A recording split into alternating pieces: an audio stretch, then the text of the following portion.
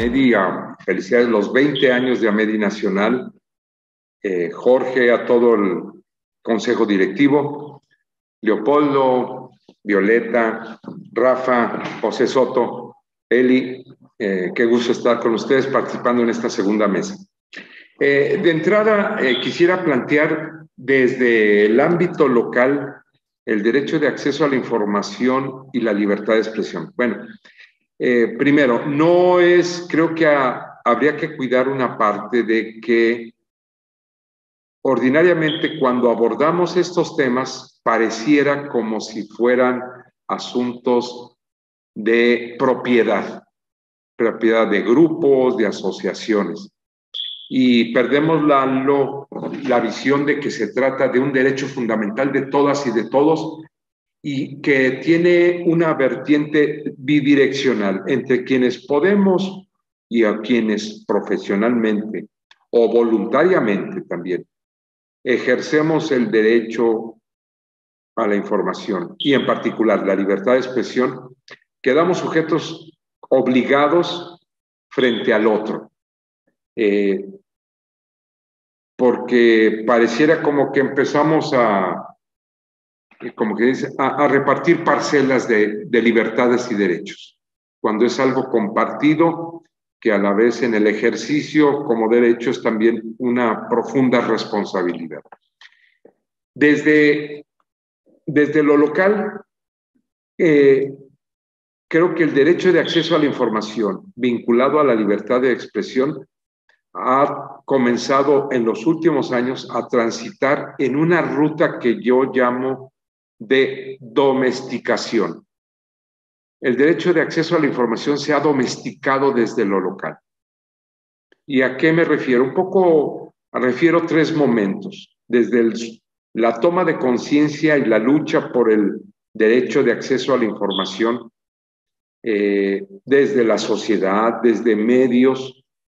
Eh, ¿Qué sucedió? Cuando el poder lo hace suyo, en los espacios locales se dio también una especie de carrera por reconocer e incorporar en sus marcos jurídicos el reconocimiento de acceso a la libertad, del acceso a la información. Y tuvimos un primer problema en el ejercicio de este derecho y fue que se generaron asimetrías en todas las entidades, cada quien lo entendió a su manera, y no solamente a su manera, le puso fronteras, límites y condiciones al ejercicio de este derecho. Después una segunda etapa impulsada mucho por María Marván, labor de cuando estaba en el entonces IFAI, hoy INAI, y fue, y con el apoyo de algunos gobiernos, se dio un cambio para, constitucional para generar una parametrización del derecho de acceso a la información, un piso mínimo, que es cuando por primera vez se incorpora en la Constitución los principios y bases del derecho de acceso a la información. Sin embargo, esto no quedó ahí, sino que cada estado, aunque tuviésemos un piso mínimo que después llega a una ley general, en una mayor fortaleza al órgano o organismo garante nacional que se convierte ahora en nacional, deja de ser federal. Se les da mayor autonomía y reconocimiento a los organismos locales, pero se empezó a domesticar. Eh, los sujetos obligados domesticaron y han domesticado el derecho de acceso a la información. Y se ha domesticado por dos vías. La principal es engolosinarnos con un marco jurídico que de por sí es rígido para determinar un menú de información que se supone desde el poder o desde el ejercicio del poder, se supone que es lo que debe de saber la gente. Esto además se ha reforzado con otra línea, que el derecho de acceso a la información se ha reducido, se ha simplificado en una actitud pasiva de los sujetos obligados en las dos vertientes. Una, esperar a que hagan solicitudes y entonces el, obligado eh, se queda permanentemente con el sartén, con el mango para determinar qué responde y cómo responde. A esto habrá que sumarle los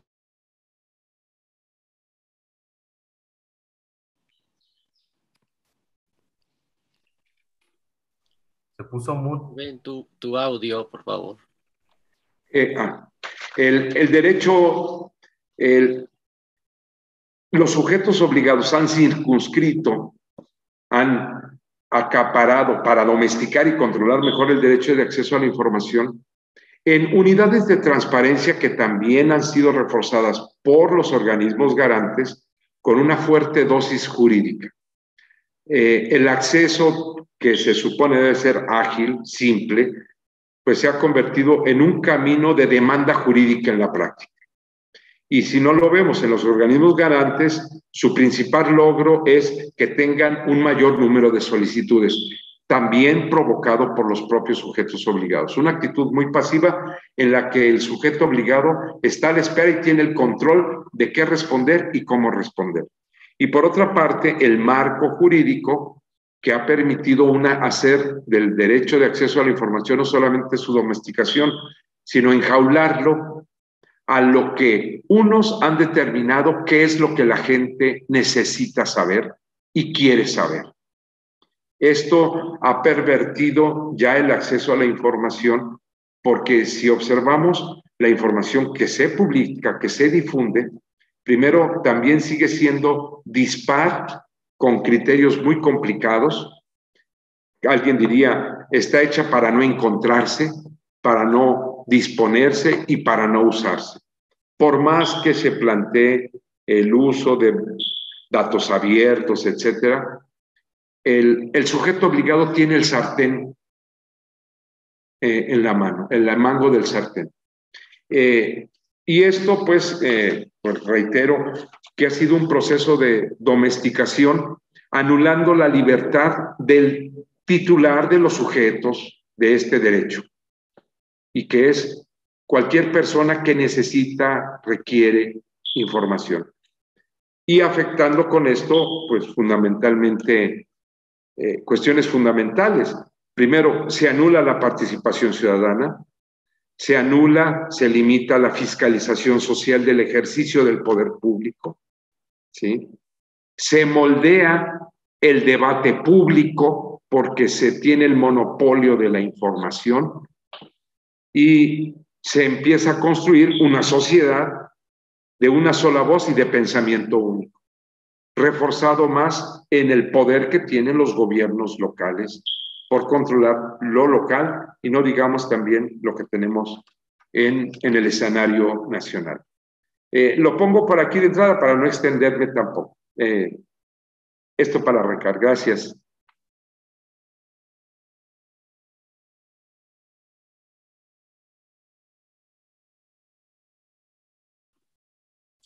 Rafa, Muchas gracias. Sí, tuve, tuve una, una, falla, no sé qué sucedió, una disculpa, por favor. Eh, entiendo, eh, no sé, Jorge, si hiciste una pregunta o empezamos con un saque de todos. Adelante, Rafa, tú eres el moderador, tú ya tienes los temas y las preguntas y además un extraordinario panel a quien se acaba de sumar el director de la revista Proceso, Jorge Carrasco. Muchísimas gracias, pero gracias a José Soto, a Leopoldo, a Violeta también y a Carla Martínez que nos está escuchando. Adelante, Rafa, la mesa es toda tuya. Gracias.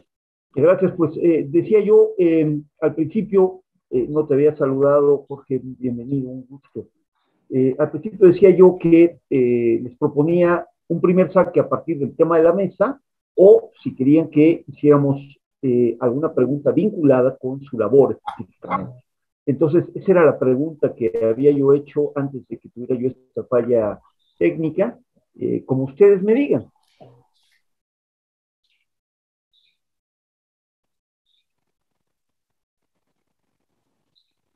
Entonces, si gustan, eh, hago algo, eh, una pregunta específica eh, y voy precisamente con, voy precisamente con Leopoldo Mayón.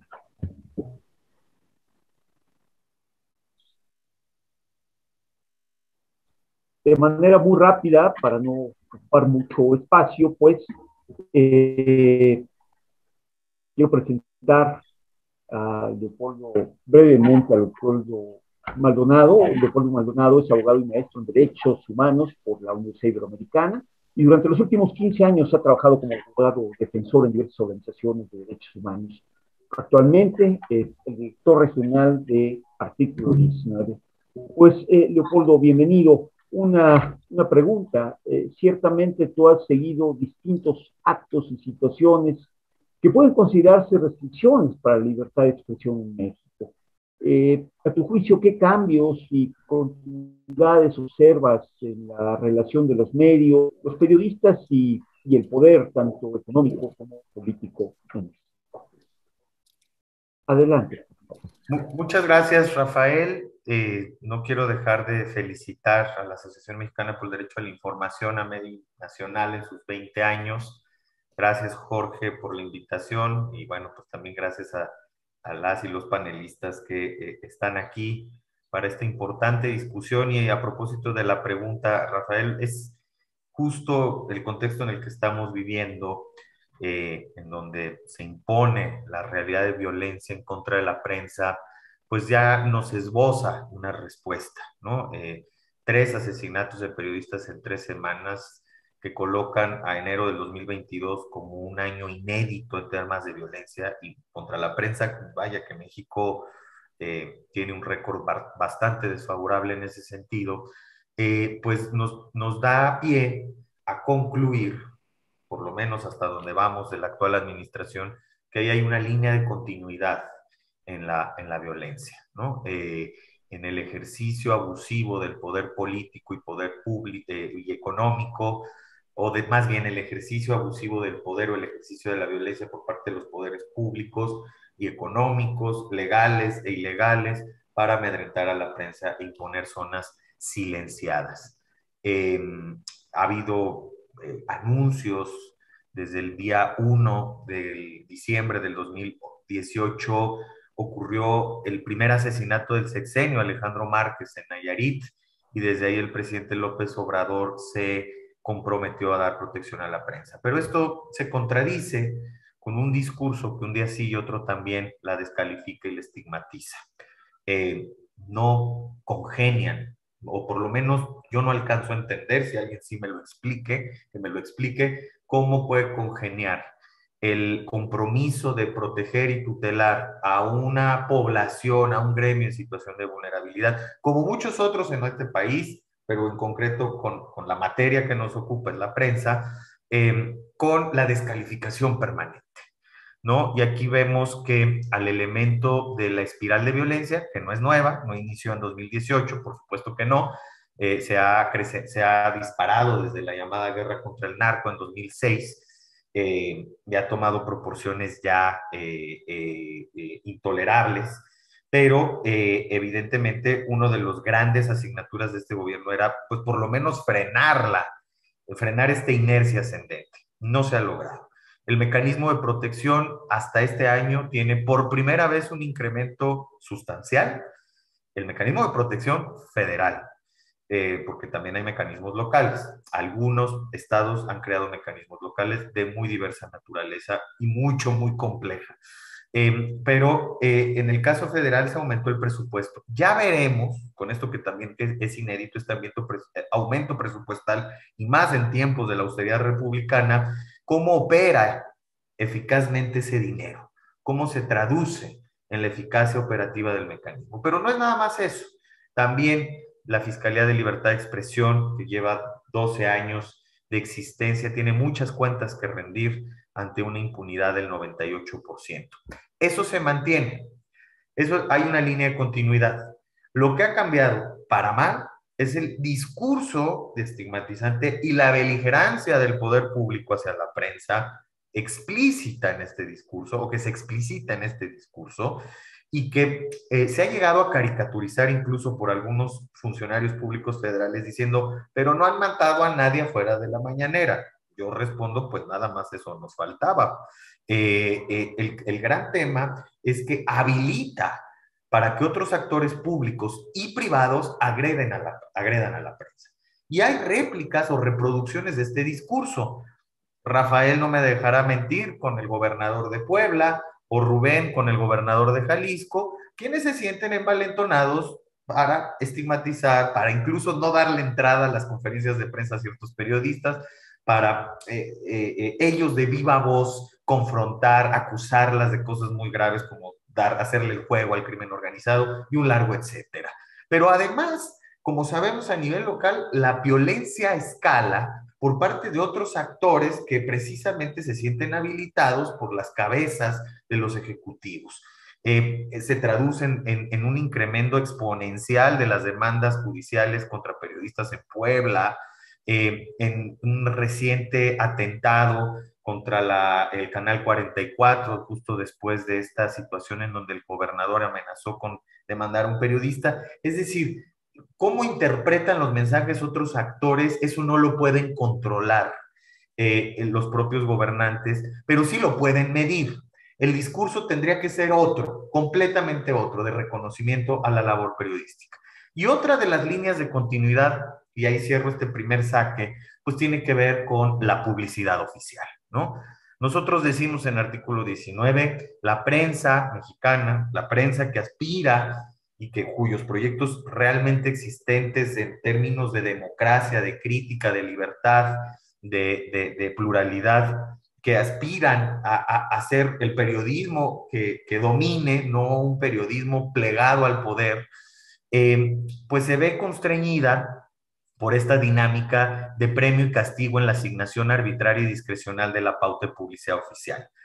El Congreso de la Unión eh, ya ha recibido dos sentencias de la Suprema Corte en la materia, cumplió de manera muy deficiente la primera y no cumplió la segunda. Estamos en un término legal que les dio el juez para cumplir eh, después de que el 15 de diciembre feneció el plazo. Y la realidad se impone. Otra vez, si bien el gasto, el despilfarro de Enrique Peña Nieto se ha disminuido en cinco veces o cinco veces respecto a lo que se está gastando ahora. Eh, eso es un punto positivo. A nivel federal, ojo, habría que hacer un zoom, un zoom in a los presupuestos eh, estatales y municipales, pero eh, en ese sentido la concentración del gasto se mantiene. 10 medios reciben el 53% de la pauta de publicidad oficial, mientras que 400 reciben el restante 47%. ¿Bajo qué criterios? Seguimos sin saberlo porque el Congreso no se quiere meter en este tema. Y no se quiere meter en este tema como el órgano por excelencia de representación político, partidista, popular, en, en cuyo seno se toman decisiones de Estado, ¿no? Con miras a generar los cambios positivos que la sociedad necesita. Es decir, es un tema de la clase política que bajo ninguna circunstancia y en ningún, y ningún color se quiere amarrar las manos para perder ese elemento de presión y negociación con los medios de comunicación. Con esto, eh, este saque cerraría. Rafael, muchas gracias. Muchas gracias, muchas gracias, eh, Leopoldo. Eh, estamos hablando, pues, de esta, este difícil tiempo que, que tiene el periodista, los periodistas y el periodismo en general, particularmente en nuestro país. Y entonces, eh, te, quiero, te quiero pedir, eh, Violeta, si eres tan amable, desde tu perspectiva, pues, eh, y te presento. Violeta es licenciada en periodismo por la Facultad de Ciencias Políticas y Sociales de la UNAM. Ha sido reportera en el Universal, el grupo editorial Puntual Media. ha colaborado en las revistas Smart Building, Energy Management y Retailers. Actualmente es periodista y editora especializada en inclusión digital de género en Digital Policy Law News. Eh, Violeta, ¿por qué es importante dentro de toda esta temática, pues, que cada vez más eh, tengamos una visión de género en la cobertura, edición, producción y difusión de la noticia? y cómo se enfrenta pues esta visión de género eh, a el difícil clima que vive el periodismo en nuestro país. Hola, ¿qué tal Rafael? Buenos días y buenos días a todos. Gracias por invitarme, gracias a la MEDI y bueno, respondiendo a tu pregunta, me parece que es importante poner énfasis en que el periodismo y la comunicación no pueden abstraerse de la histórica desigualdad de género que vivimos en prácticamente todo el mundo.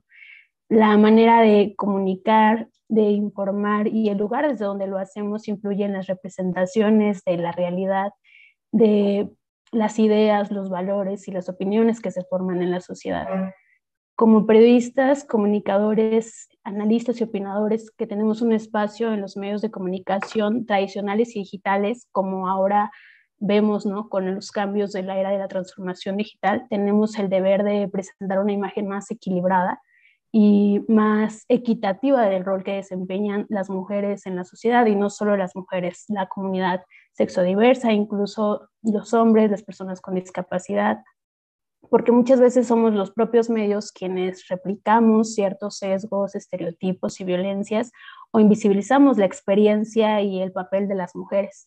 En los últimos años me parece que han habido importantes avances, sobre todo a raíz de los movimientos feministas que evidencian ciertas problemáticas ¿no? que tenemos en la cobertura de los hechos noticiosos incluso los movimientos a favor de los derechos humanos, pero todavía falta bastante por deconstruir y también por replantear.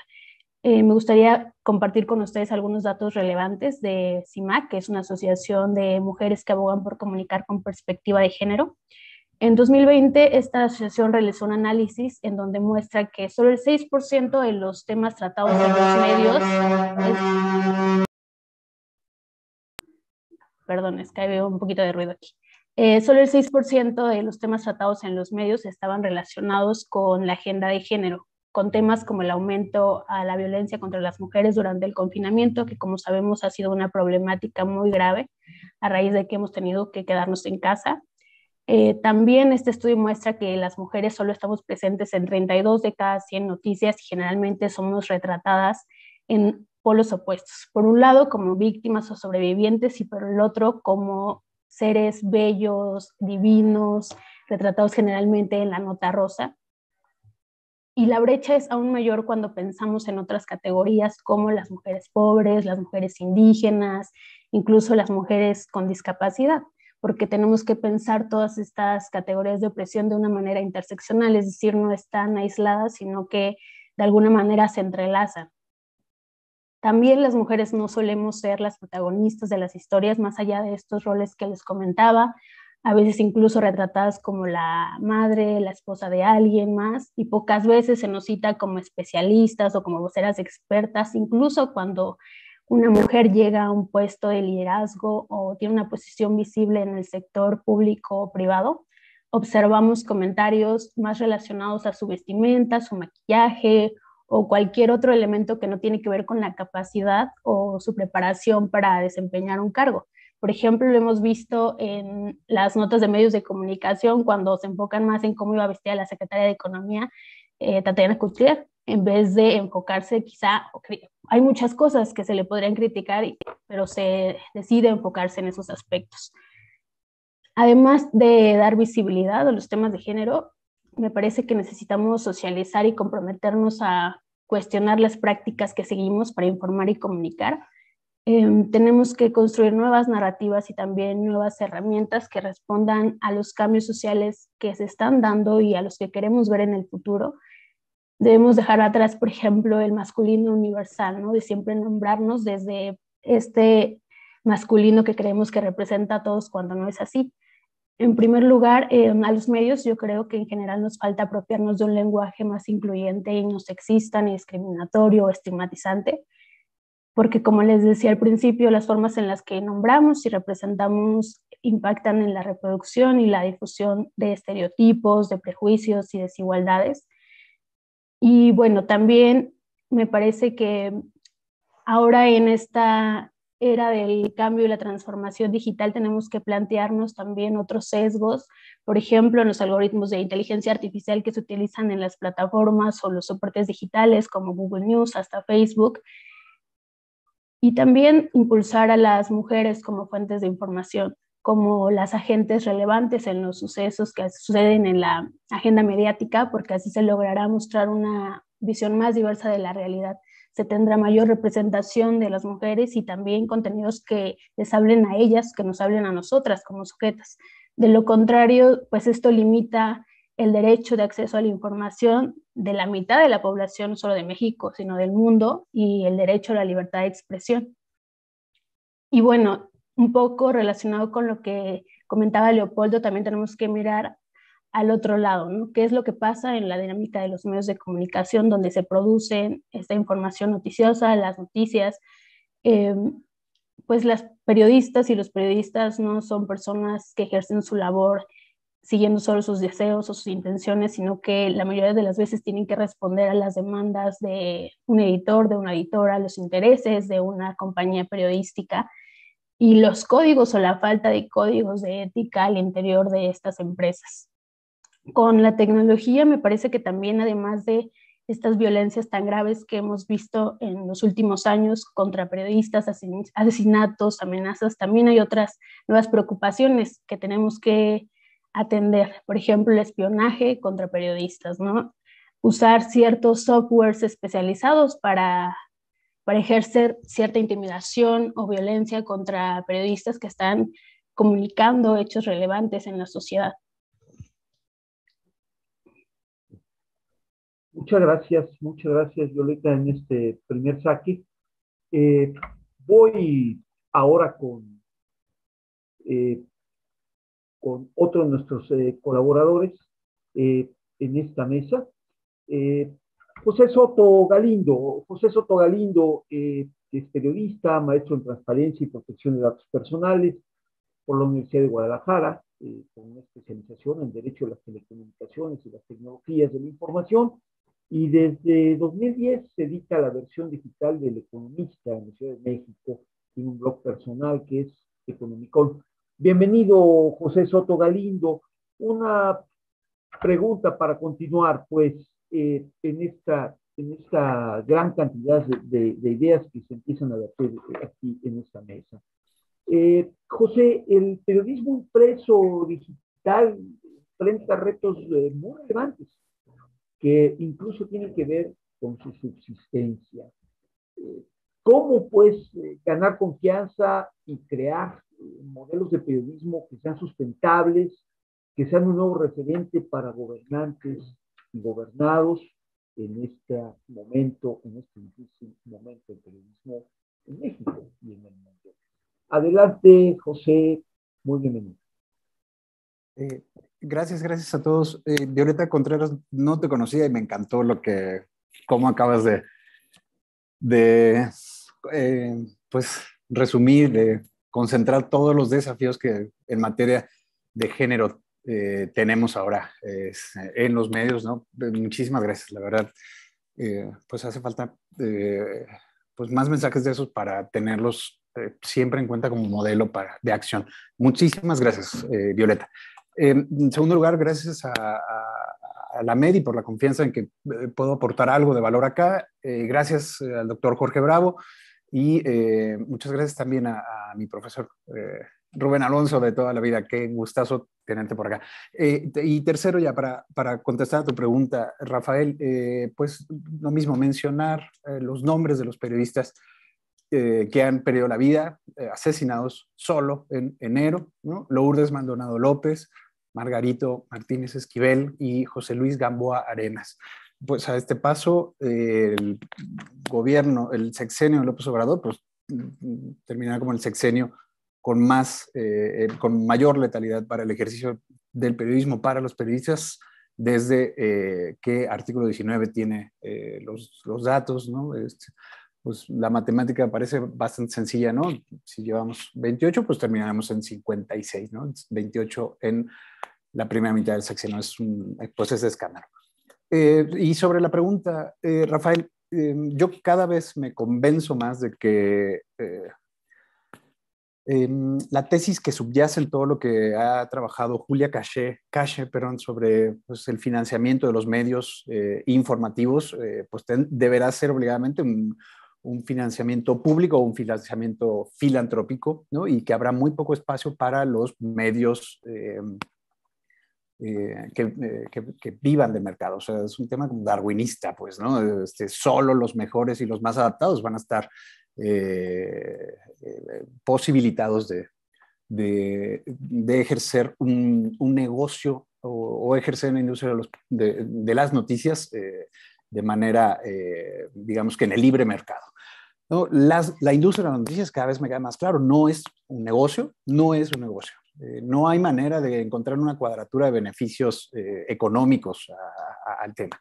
O sea, eh, y lo que estamos viendo, ciertamente hay que considerar que, que Julia Cachet, está trabajando pues, desde Francia ¿no? con el modelo francés del estado de financiamiento, ¿no? la capacidad de subsidio del Estado francés con otras dinámicas y otras, otro contexto completamente distinto al mexicano. Eh, ¿no? E incluso tampoco hay que estar mirando el contexto estadounidense para encontrar ahí las claves de lo que pasa en el periodismo eh, mexicano, en la industria de las noticias en México. Así que, eh, pues lo que estamos viendo es una, una depauperización de la calidad de la información periodística, eh, ¿no?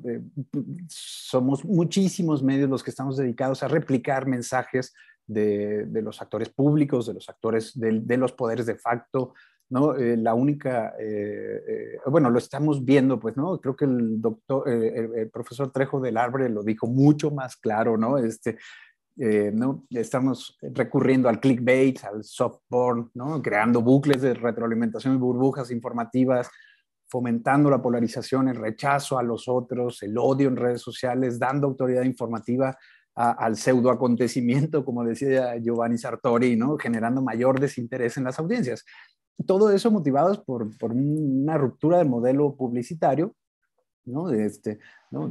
los más viejos recordarán que el modelo publicitario estaba basado, ¿no? decían que el, que, la inversión del gasto publicitario oficial, ¿no? que la publicidad oficial pagaba las cuentas de un medio y que la publicidad privada pagaba eh, entregaba los beneficios para los, los, propietarios de las iniciativas periodísticas, pero pues con una ruptura del, del, modelo completa, ¿no? Ahora Leopoldo acaba de decir que, que, el gasto publicitario federal pues ha disminuido cinco veces, ¿no? Así que pues nomás consideren, ¿no? Y que del otro lado eh, eh, los mayores concentradores de la publicidad son Google y Facebook, pues nos encontramos en, pues, en una eh, desprotección total del modelo eh, de, financiamiento. Así que, pues lo que les decía al principio, yo creo que, que, vamos avanzando cada vez más, ¿no? O tenemos que avanzar más rápido entender que la industria de las noticias no es negocio, ¿no? Que el negocio de la industria de las noticias se está dando en otros lados, eh, que, que, el negocio además se lo están llevando otros en términos publicitarios,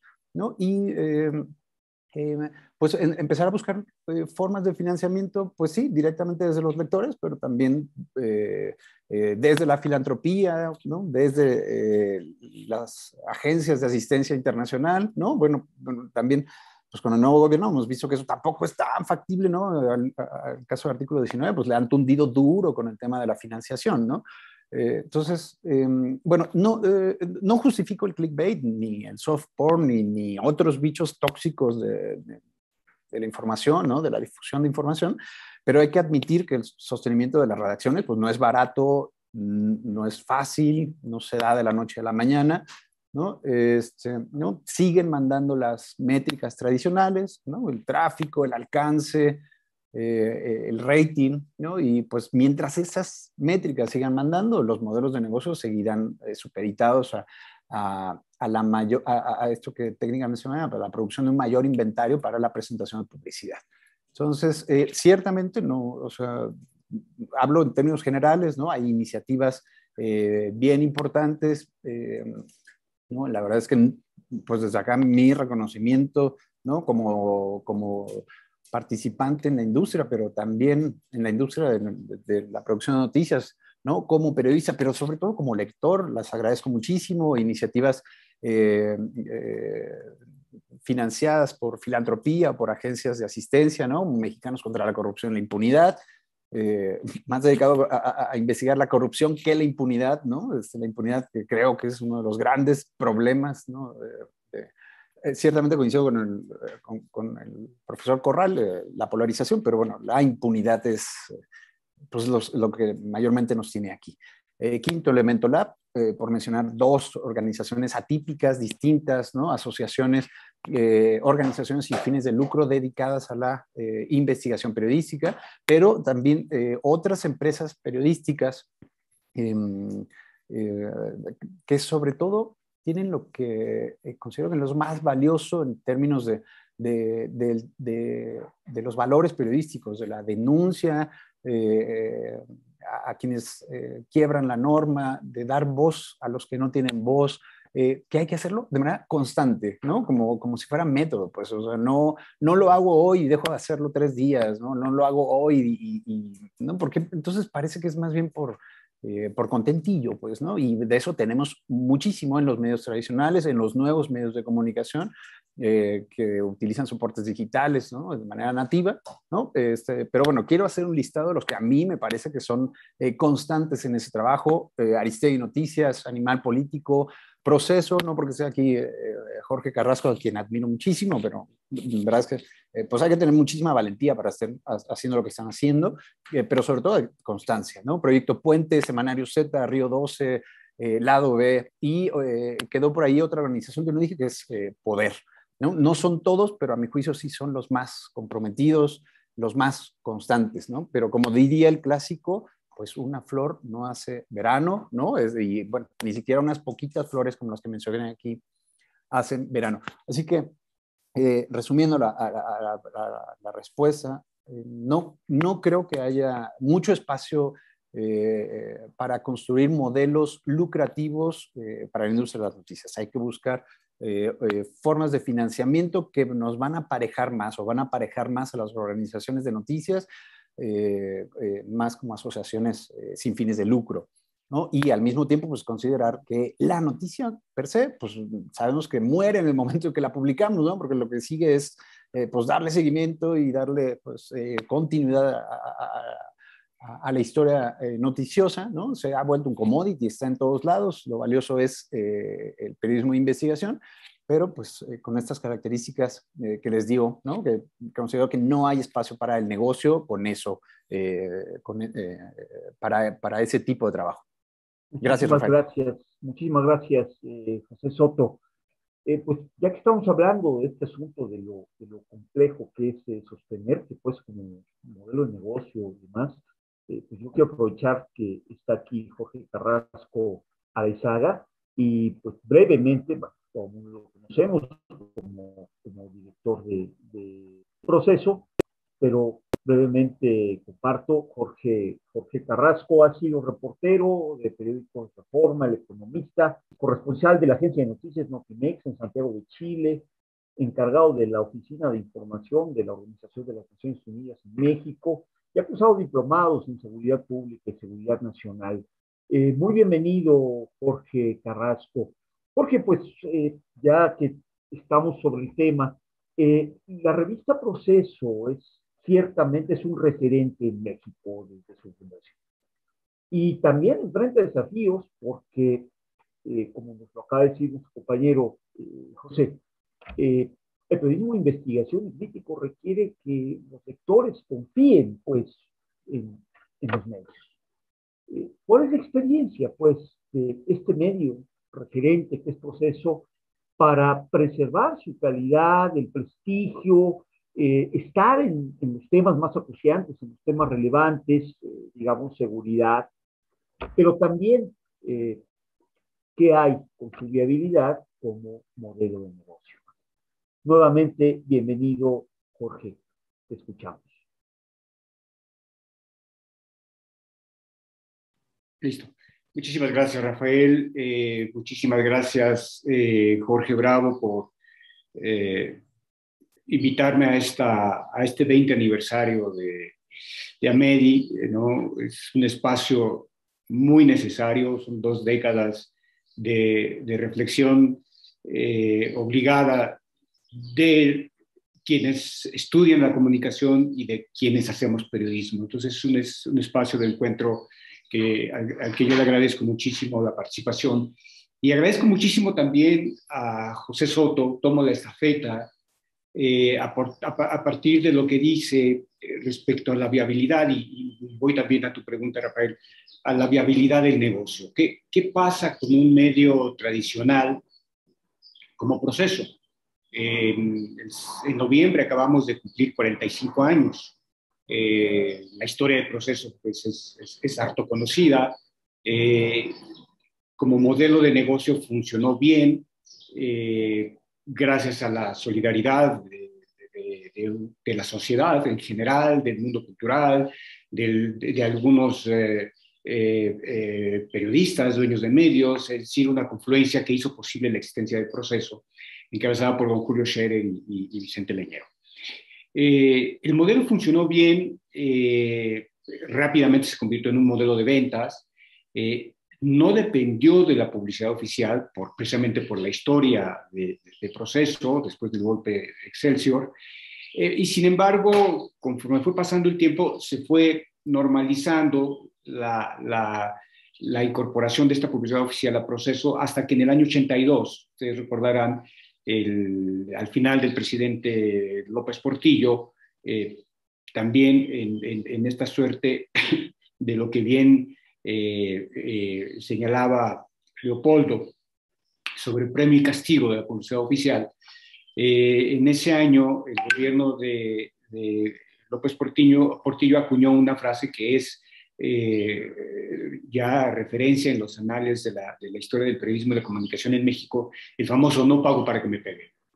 y entonces nos corta la, la, publicidad, bueno, corta la publicidad proceso, y ahí fue ocurrió algo muy interesante. El proceso lanzó una campaña intensa de, promoción, de suscripciones, eh, y otra vez, y ahí salen los lectores a rescatar a la revista, y, con el apoyo también de, muchos periodistas que se solidarizan.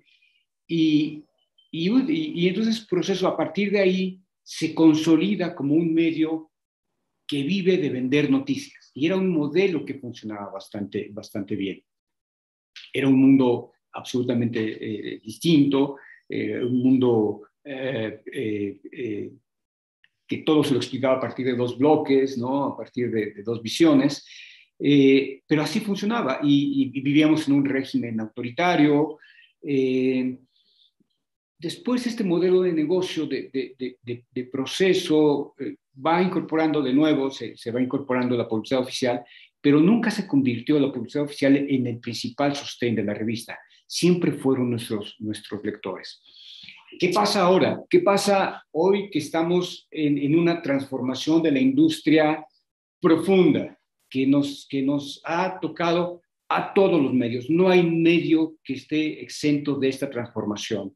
Eh, el, título de la mesa, como los, los retos en, en relación con la con los cambios tecnológicos y la pandemia, pues, eh, nos, nos, abarcan absolutamente a todos los medios. Obviamente los grandes medios, las grandes experiencias internacionales, el Times, New York Times es la, la, referencia, pero hay otros europeos también, que sí han, han buscado, eh, a propósito de lo que decía José Soto, hacer negocio, es decir, o el, o el país, ¿no? Es decir, mantener el negocio de la información.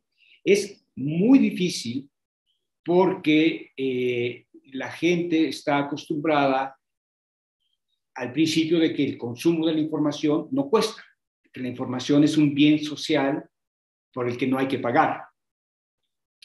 Eh, y entonces ahí hay un reto enorme para, los medios, para la industria, eh, y en, doble sentido, interno y en relación con nuestros lectores. Interno significa o implica un cambio cultural de mayor proporción.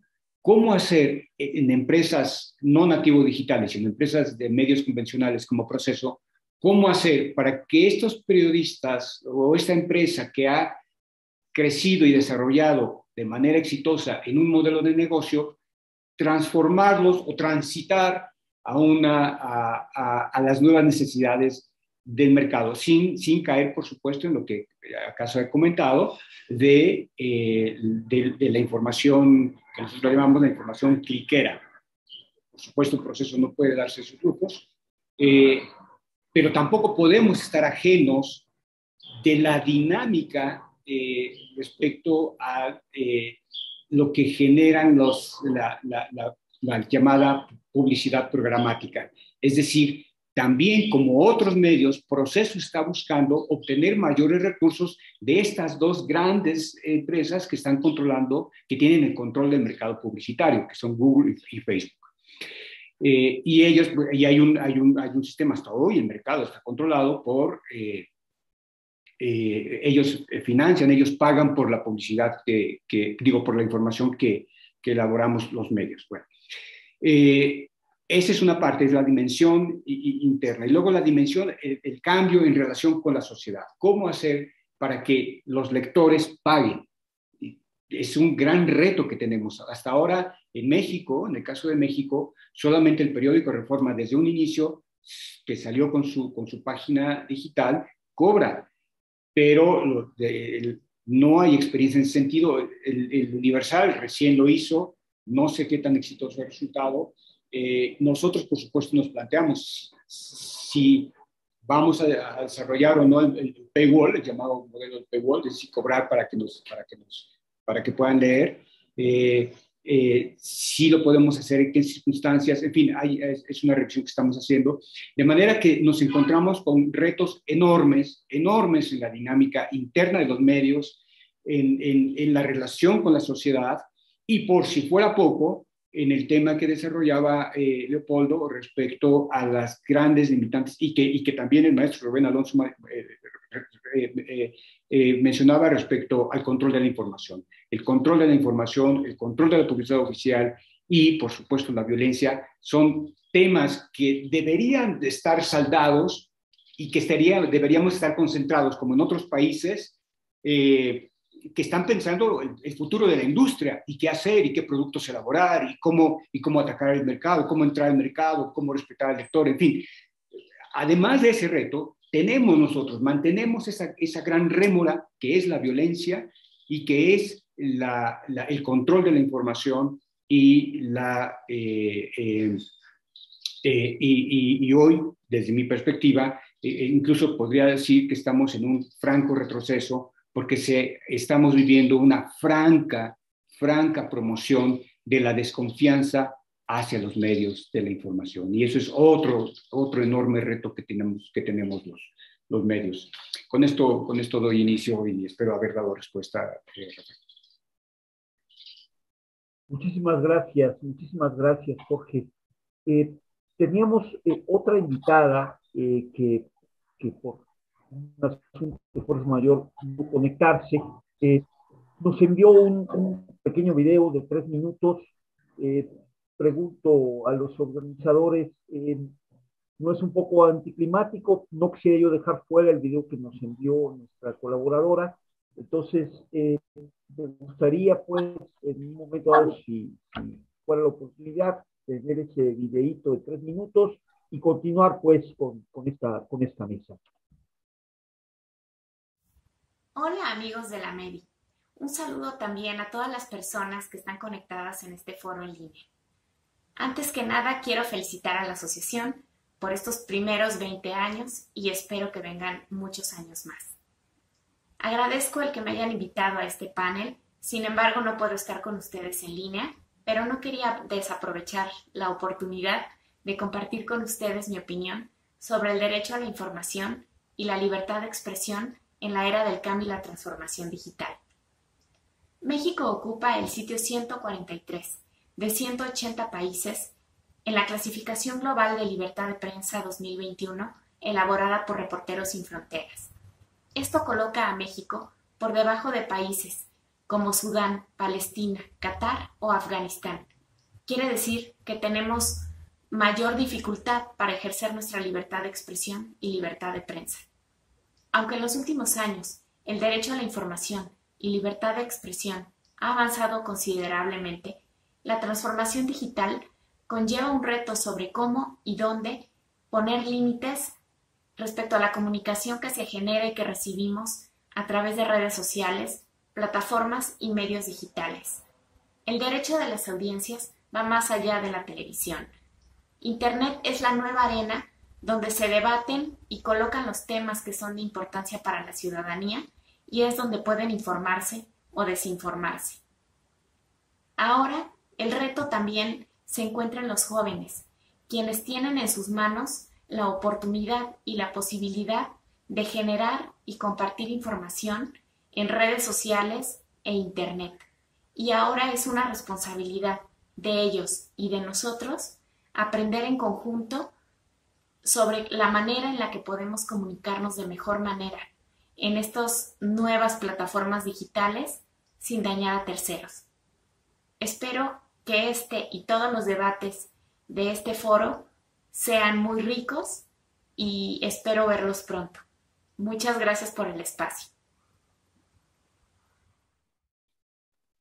Eh, muchas, eh, muchas gracias por prestar atención a este pequeño video que nos envió Carla Martínez Guillén, quien es licenciada en comunicación, periodista especializada en tecnologías eh, y además es integrante de Consulta Responsabilidad Social Empresarial, Consulta RSE.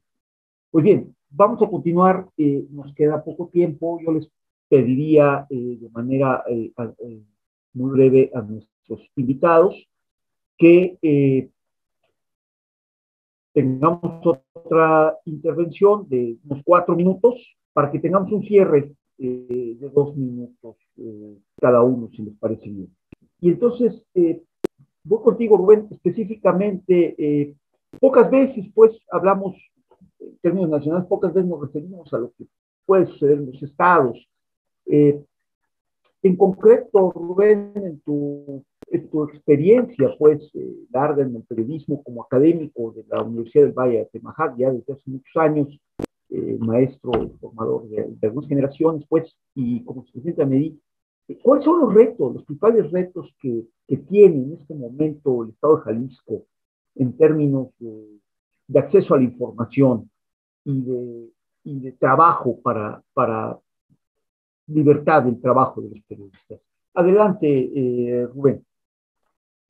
Eh, sí, lo, pongo, retomo la idea que decía anteriormente, es romper esta domesticación que se, que se ha hecho del acceso, no solamente del acceso, también de la distribución de la información, a través de organismos garantes que han terminado, quedado sujetos a los intereses del poder público. Y esto está pasándolo, cuando uno se acerca a los demás estados, sucede lo mismo. Hay una especie de casi casgos locales, que también se entiende, creo que hay que ubicarlo en esto. Eh, parto de lo siguiente, no puede haber libertad sin información, así de simple. Es condición, es un prerequisito y ese es lo que alimenta la misma libertad entre más como condición para la libertad, información. Entre más abrimos los horizontes y accedemos a ella, más podemos desarrollar.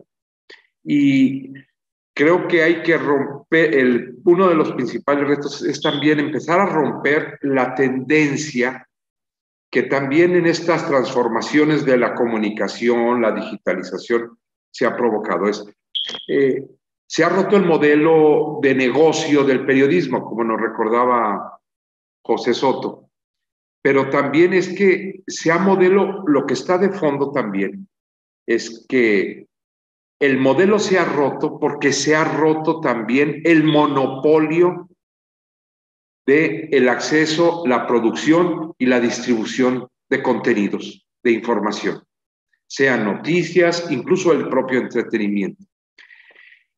Y los gobiernos se han metido a este juego, desplazando a los periodistas. Yo veo tres momentos que han provocado. Primero, un menosprecio de esta generación nueva de gobernantes ante el rompimiento del monopolio de la información. Ellos ahora son productores, generadores y distribuidores y han menospreciado el ejercicio profesional libre del periodismo. Pero no solamente lo han menospreciado, entramos a una etapa de descalificación como parte o consecuencia del menosprecio.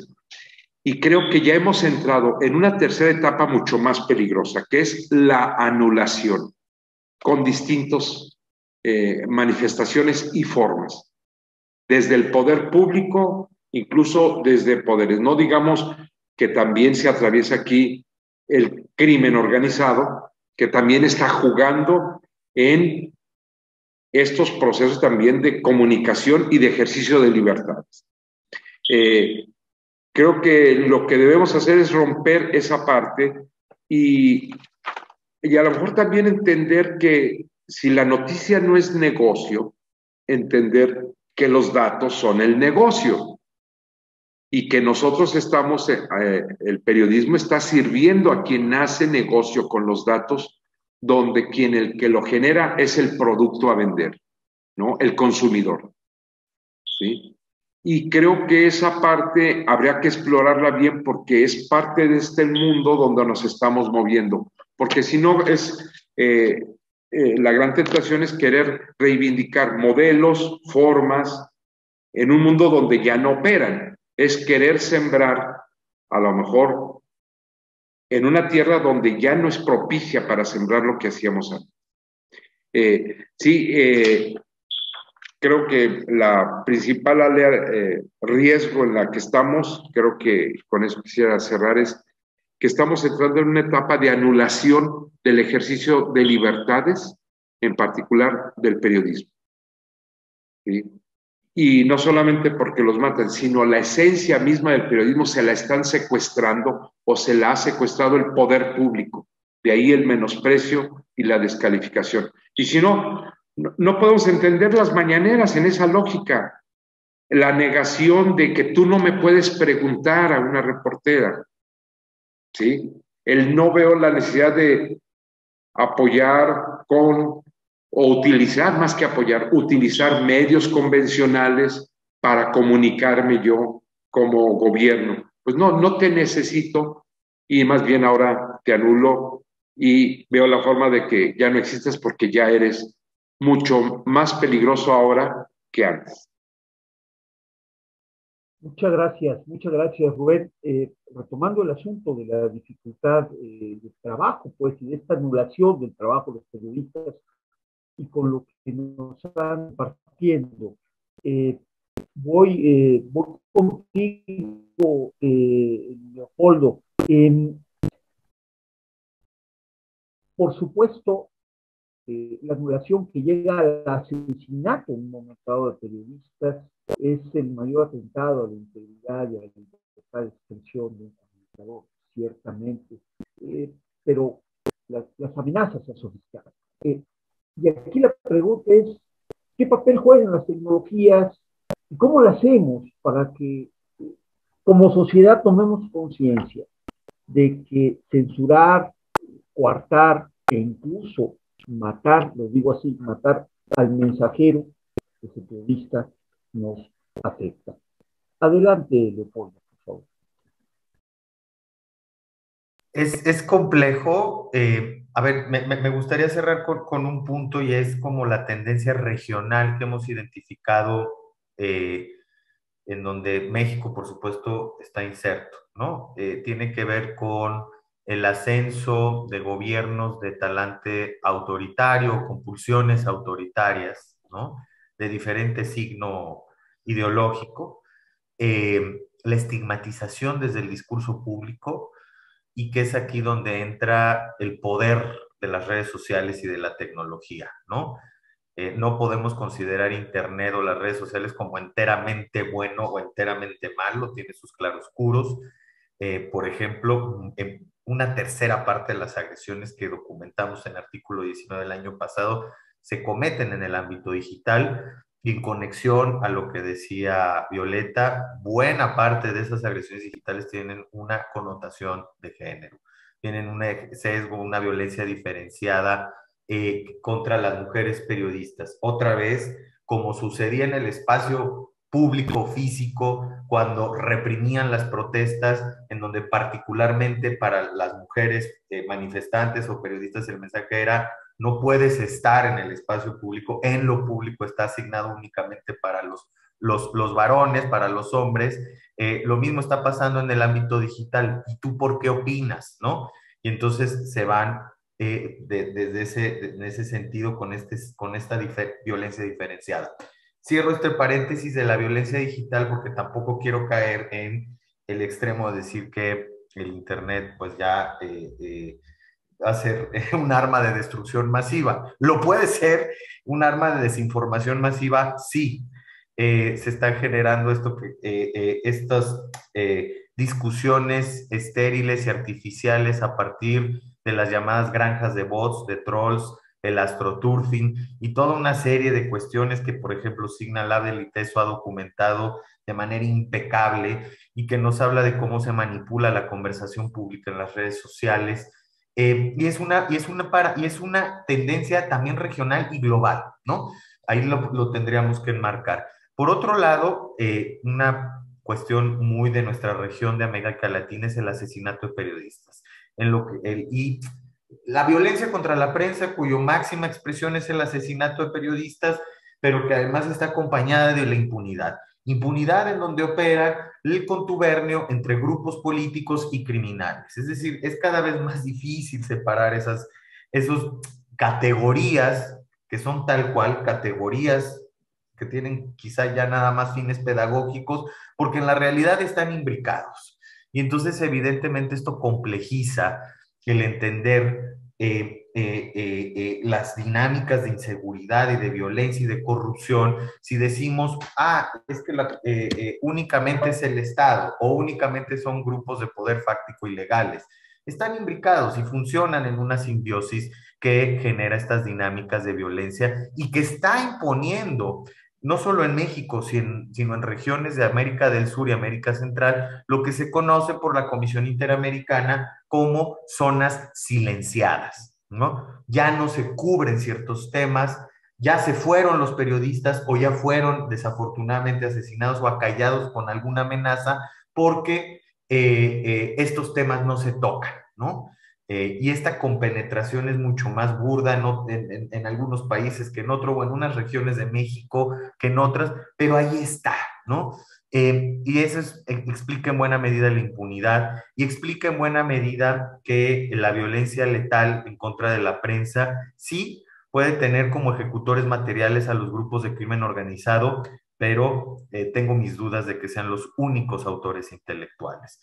Em, el, el tema también eh, eh, sobre otra vez el incremento de la judicialización, el acoso judicial en Colombia, en México, en Uruguay, está en ascenso. Em, ya pasamos, digamos, esta, bueno, no en todos los estados del país, pero sí en buena medida eh, ya superamos esta discusión sobre si delitos contra el honor sí, delitos contra el honor no. Ah, bueno, pues como el poder tiende a expandirse y no se autocontiene, está buscando nuevas formas y es a través del acoso judicial, de la instrumentalización de un derecho, el derecho, sí, a recurrir a una o a, utilizar un recurso judicial para proteger el derecho a la reputación y el buen nombre, pero utilizarlo de manera abusiva, porque saben que nos vamos a entrampar siete, ocho años en la burocracia judicial. ¿No? Que no necesariamente está incorporando los estándares de la Suprema Corte en materia, en materia de libertad de expresión, estándares construidos en buena medida con lo que ya dijo la Corte Interamericana de Derechos Humanos. Entonces, ahí están las tendencias, algunas de ellas. Yo diría que eh, eh, las nuevas tecnologías ya lo describieron, no voy a repetir porque aparte los expertos, las expertas ya lo hablaron, todos los retos que hay para los medios de comunicación. Eh, cerraría con otro elemento negativo, lo cual no me encanta, pero que tiene que ver también con la invasión a la privacidad y que se está dando pie a partir de las herramientas cada vez más sofisticadas de vigilancia que se están utilizando contra opositores políticos, periodistas y activistas, ¿no? El caso Pegasus en México es escandaloso, pero ya vimos recientemente lo sucedido con varios medios de comunicación en El Salvador, en donde Nayib Bukele le dice pues yo no sé quién lo usó, ¿verdad? Cuando la propia empresa en eso Group eh, es muy clara en decir que solamente le vende estados. Y bueno, eh, aquí, eh, si alguien nos puede describir esta situación, pues es el propio Jorge que, que, nos acompaña y con quien siempre hemos mantenido esta solidaridad ante esta infame intrusión a la privacidad de nuestros colegas periodistas, precisamente por pensar como piensan y por escribir y por publicar lo que publican. Eh, eh, la parte de la luz de la Internet, y con esto cierro, pues es la mayor participación política. No me meto al nivel de debate, yo creo que el nivel de contenidos hay mucho que decir, pero el nivel de debate es otra cosa y ya lo tendremos que discutir en otro espacio.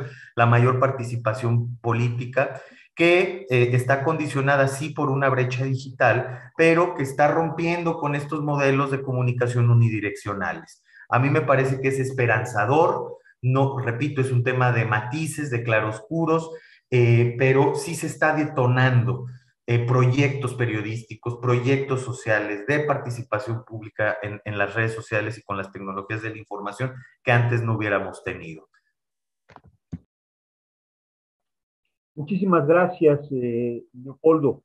Gracias. Aprovechando que has eh, tocado este tema tan importante de cómo entran en juego las nuevas tecnologías, eh, quiero aprovechar que está aquí eh, Violeta y Violeta, te, te pregunto, eh, haz eh, finalmente tu, trabajo, eh, digamos, te lleva a, a, plantear toda una perspectiva eh, donde el género está presente. Pero, ¿qué, qué beneficios traería para el derecho a la información, eh, la libertad de expresión por supuesto, el ejercicio de otros derechos posibilitados por ellos, eh, promover y fomentar la inclusión, le pongo apellido, la inclusión digital de género. Sí, gracias Rafael por tu pregunta. Bueno, primero me gustaría eh, retomar un poco esto que decía Leopoldo de que el espacio digital, el entorno digital tiene claroscuros, ¿no? Un lado de luz y quizás un lado más oscuro. Y justo, por ejemplo, con estas agresiones a periodistas, a comunicadores, eh, recordaba las denuncias que hacía el periodista eh, Abraham Jiménez Enoa, un periodista cubano que durante las protestas en, a finales de 2021 denunciaba cómo además de que no lo dejaban salir de su casa el régimen cubano, habían cortado eh, internet, ¿no? Y justamente no podía comunicarse, no podía reportar lo que estaba pasando en su país. Ese es un poco del lado oscuro, digamos, o de, la, de otros fines para los cuales podrían servir las tecnologías que no son precisamente beneficios.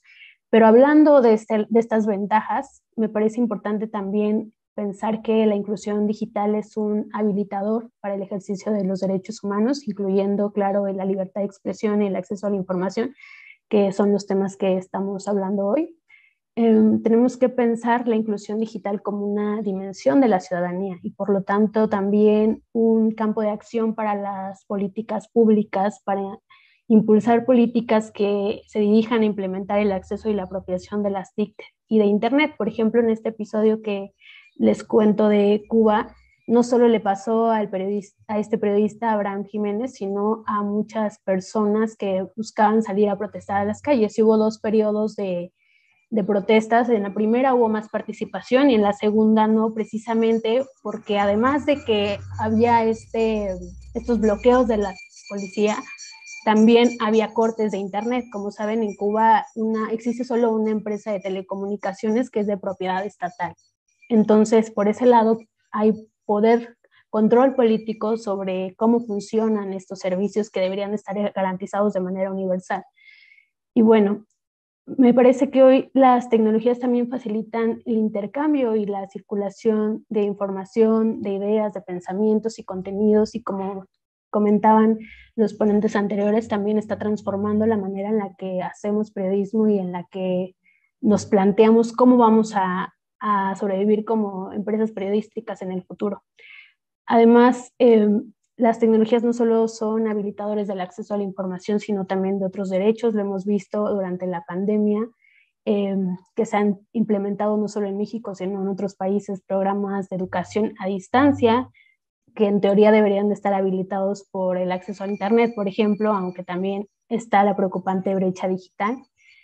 Em, los beneficios de la inclusión digital me parece son amplios. Garantizar el acceso a las TIC, que es un, un, derecho en México y en otros países del mundo, es un primer paso para acceder a oportunidades económicas, por ejemplo, de formación, de autonomía e independencia, pensando específicamente o especialmente en el género, en las mujeres que, como en otros ámbitos de la vida, en el ámbito de la economía, pues solemos también estar en una posición desigual, ¿no? Actividades como el cuidado de la familia, del hogar, no son remuneradas de la misma manera que otro tipo de actividades económicas, aunque sí ocupan un lugar muy importante en sostener el engranaje económico. Eh, no se considera como una aportación formal, digamos. Tradicionalmente, pues esto ha supeditado a las mujeres a depender económicamente de otras personas, generalmente el padre, el esposo.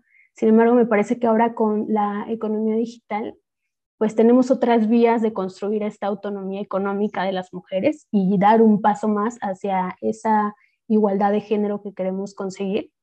Vemos que más mujeres están aprovechando el espacio digital, ya sea para establecer negocios propios, aprender nuevas herramientas y conocimientos, eh, comunicar, informarse y participar de diferentes formas en la economía.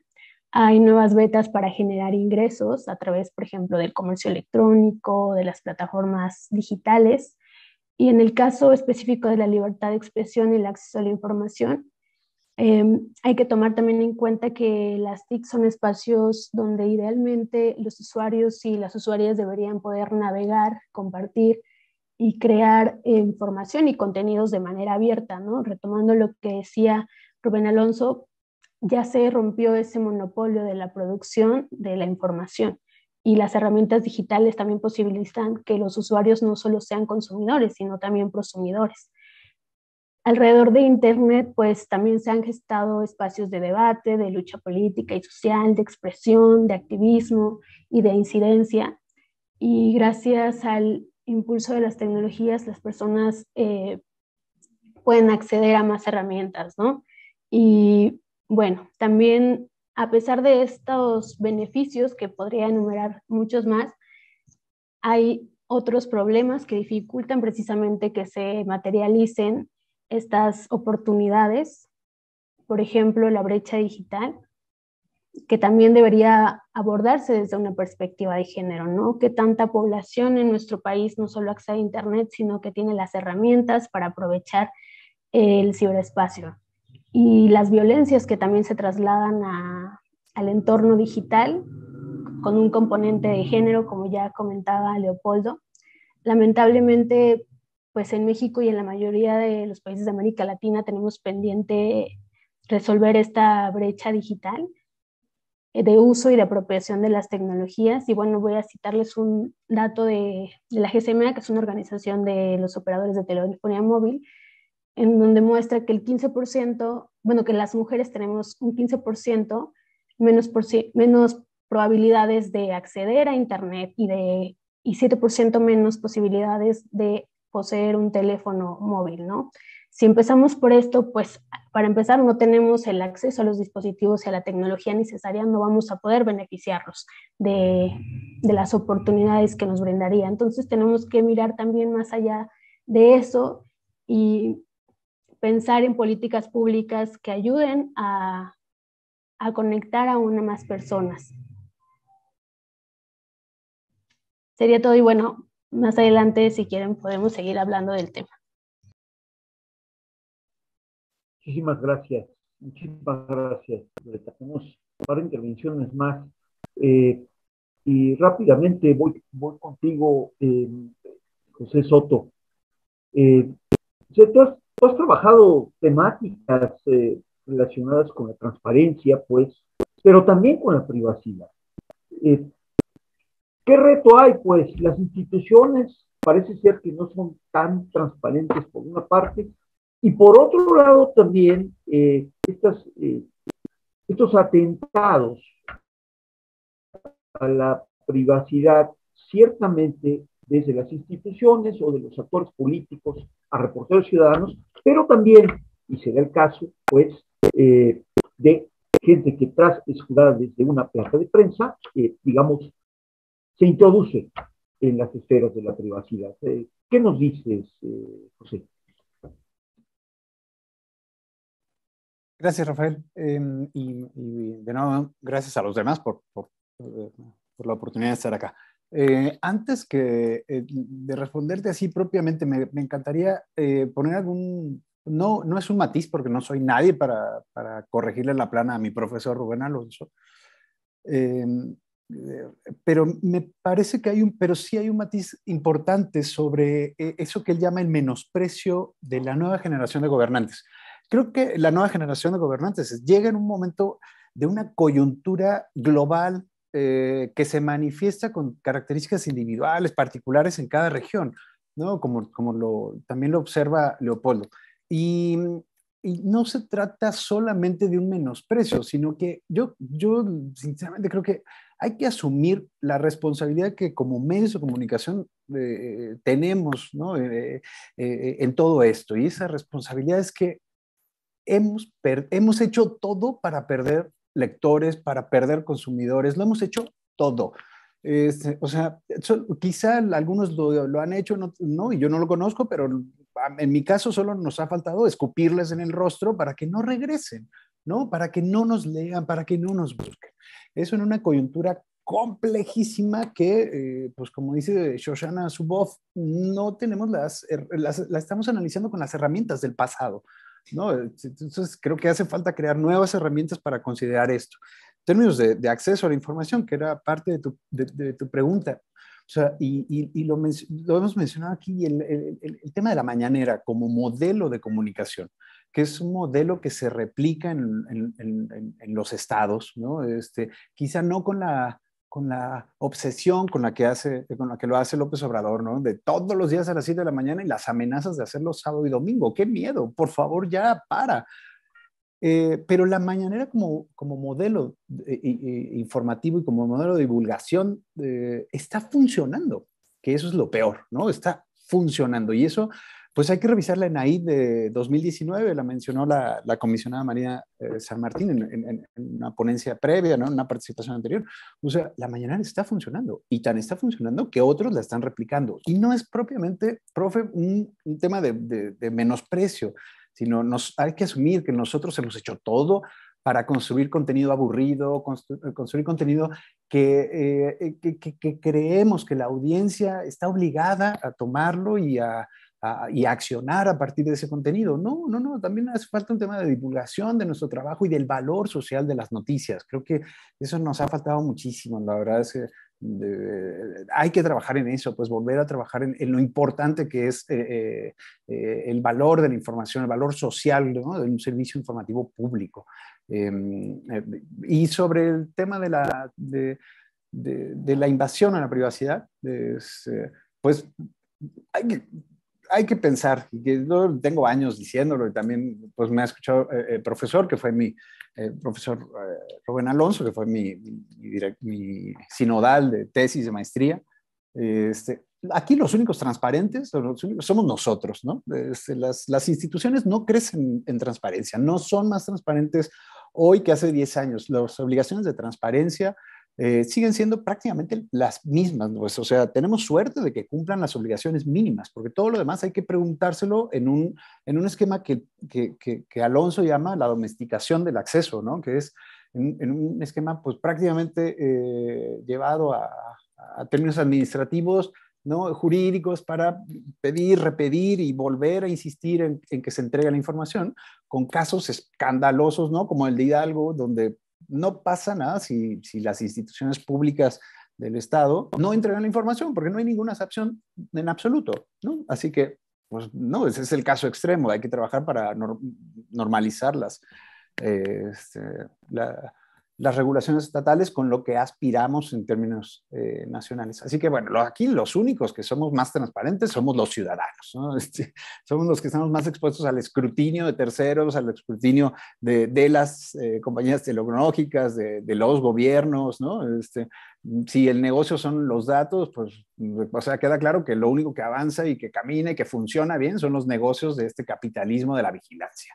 ¿No? Este, y bueno, para responder ahí con más precisión, pues las, las, los ejemplos son muchos, ¿no? el registro nacional de datos biométricos de usuarios de telecomunicaciones, pero nos podemos remontar a 2013, 2014 con la incorporación de la obligatoriedad de la colaboración de las compañías tecnológicas para entregar datos y metadatos y geolocalización de los usuarios de, telefonía móvil, pero bueno, el SAT también ha cometido unas aberraciones espantosas recientemente, no es propiamente el SAT, sino los legisladores eh, aprobándole todas las aberraciones que el SAT pide, ¿no? Este, el SAT pidió en 2020 y le aprobó el Congreso en la miscelánea y en los cambios al Código Fiscal, ¿no? La, la posibilidad de tener un servicio de de, verificación de la identidad con nuestros datos biométricos como lo tiene el INE, ¿no? Este, y ampliar un, modelo de negocio público ¿no? basado en la explotación, en la extracción de nuestros datos personales, pero bueno, ahora a partir del 1 de enero rige la obligatoriedad para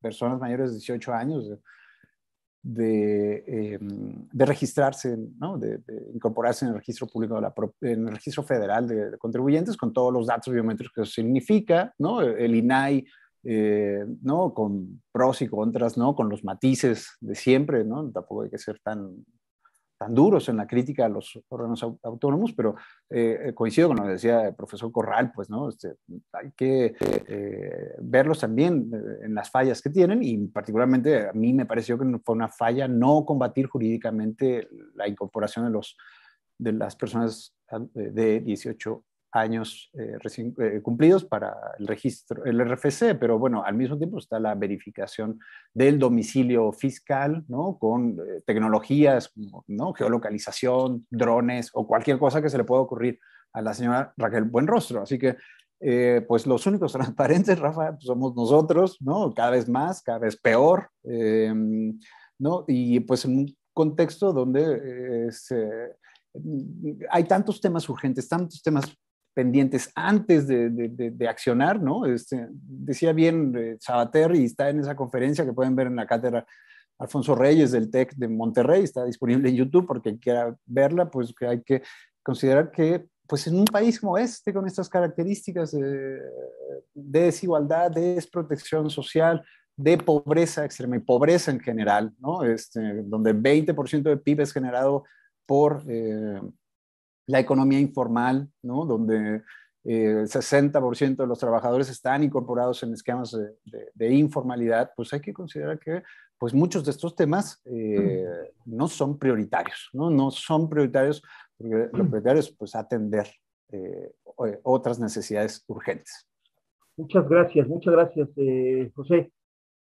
Pues muchas gracias a todos. Estamos con el tiempo encima, entonces quiero aprovechar para pedir que cierre el panel eh, nuestro querido Jorge Carrasco. y Jorge, eh, te pregunto, pues, eh, ciertamente necesitamos que el periodismo serio de investigación crítico tenga espacios como proceso para garantizar el derecho a la información, la libertad de expresión y la calidad de la, democracia en México. ¿qué, ¿Qué visión y estrategia tienen estos medios de referencia como proceso de periodismo, de investigación, para preservar sus derechos de autor y para enfrentarse a la abundancia de información gratuita en, la web, pues, incluyendo opiniones enteras de aquellos que son cuestionados por el propio medio, como, como ese tweet que publicó este señor eh, Salinas Pliego de que por ese proceso, si tienen algo para comer es porque yo les pago. Eh, ¿Qué nos dices, eh, Jorge, al respecto? Y nuevamente agradezco a todos nuestros colaboradores. Adelante, Jorge, por favor.